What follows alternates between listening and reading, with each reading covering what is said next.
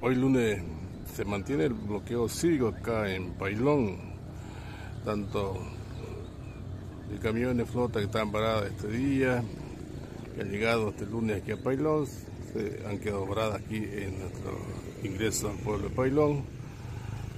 Así lo determinaron los presidentes del Comité de Cívicos Femenino y Masculino, de cada seis horas van a dar paso aquí a lo que concierne este bloqueo gente que pasa, en movilidades, motos, también dejan pasar ambulancias, este, cisternas, camiones con alimentos, con ganado y también los mototaxistas que hacen el servicio de transbordo acá desde Pailón hacia Puerto Ibañez que van recorriendo aquí este tramo de bloqueo. Ya.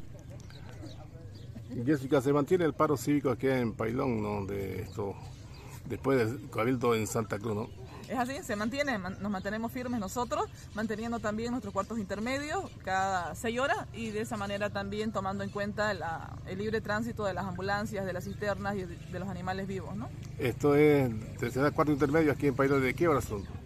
Eh, medianoche, mediodía, 6 de la mañana a 7 de la mañana y 6 de la tarde hasta las 7 de la tarde o de la noche.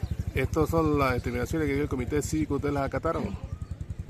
Claro, desde que comenzó hace 24 días ya el paro cívico, nosotros hemos estado acatando la medida, coordinando acá con, con Pailas y con otros municipios cercanos también, para de esa manera eh, poder hacer esa presión para lo que en un momento era censo 2023, ¿no? Y ahora, como hemos visto después del Cabildo, la, el abanico de las intenciones o, o, de, la, de lo que se pide ya es más grande también. Este, el el censo es recurso económico para cada municipio acá. Pailón necesita varias cosas importantes que son recursos económicos y todas las autoridades deberían estar comprometidas, ¿no?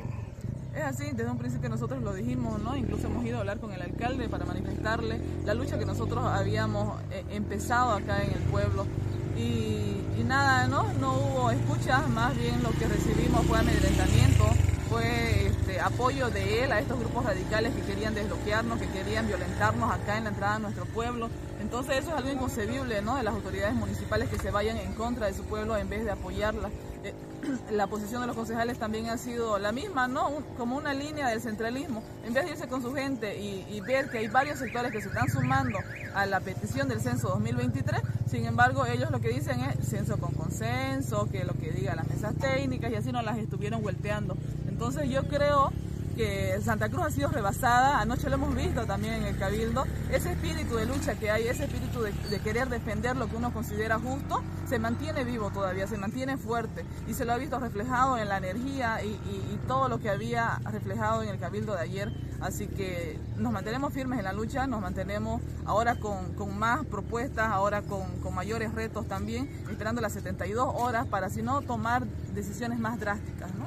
Carlos Macoño, también presidente cívico acá de Pailón, también este, acá soportando frío, lluvia, pero con la firmeza de poder llevar adelante este paro cívico, ¿no? Así este, vamos firmes sobre lo que ha hecho el mandato del 30 de septiembre del Cabildo, más lo de anoche. Seguimos aún más firmes y fortalecidos gracias a, todo este impulso, a este bien común que se está haciendo en beneficio